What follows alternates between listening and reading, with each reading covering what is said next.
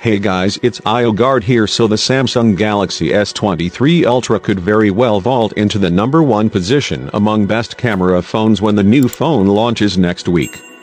And the latest leaked photo samples show amazing promise. In fact, with its rumored 200MP main camera sensor and improved low light performance, the Galaxy S23 Ultra could take down the likes of the iPhone 14 Pro Max and Google Pixel 7 Pro.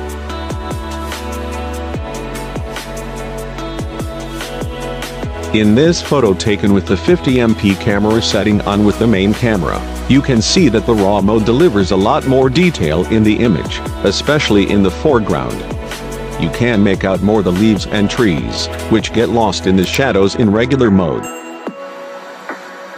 Next up we have a photo of a monkey taken with 10x zoom and 30x zoom.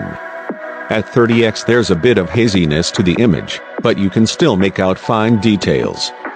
Check out the hairs on the monkey's arms and the veins in the leaves. This is an impressive photo.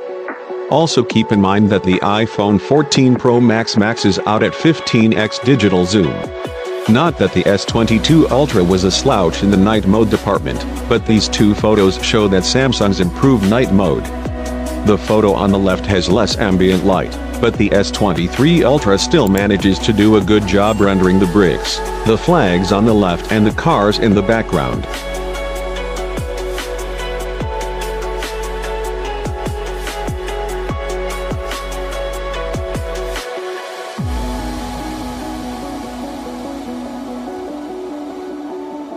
The more Galaxy S23 Ultra leaks come out showing what its cameras can do, the more we're excited by its potential. Yeah, the 200MP number sounds impressive, but I'm more interested in the actual image quality. Keep it locked to our Galaxy S23 Ultra hub for all the latest hubs and leaks, and bookmark out Samsung Unpacked event page to get ready for the big event February 1st. You can also reserve your Galaxy S23 pre-order right now.